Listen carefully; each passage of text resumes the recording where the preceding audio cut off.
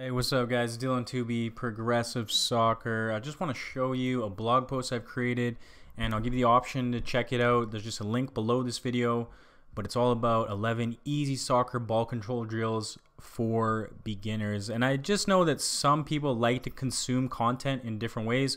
Some people like to watch videos, some people like to listen to podcasts, which I know I've been putting off for a long time, but I think this is the year that the Progressive Soccer podcast is coming out. And some people like to read articles. So I've taken all of this content, I've broken down a couple videos and put it into this helpful blog post if you want to check it out. 11 easy soccer ball control drills for beginners. So it just makes it a little easier to consume rather than watching one long. I know I released like a 25 minute uh, ball control tutorial on YouTube. So if you want to just take your time, process this in a different way. It gives you also some more um, ideas and motivational tips that I may have not included in the videos before.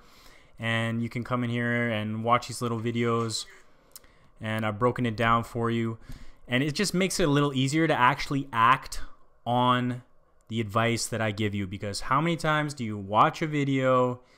And you say that's a really good idea. Those are some really good drills. But if you look back in a week or so you haven't done anything that you watched in that video. You haven't applied any of the drills. You haven't applied any of the tips. So please remember i always say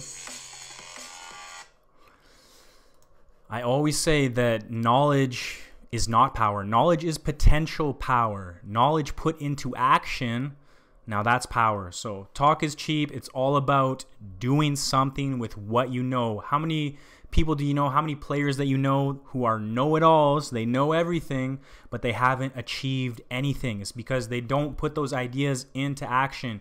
You can tell me what you're going to do all day until you actually do it. I don't believe you and I'm not going to see any results out of you. So I just wanted to give you this option. Check out this blog post. It's really cool. I'll put the link below this video and I hope you use it to improve your ball control skills, get a little more motivation, and add these ideas to your training.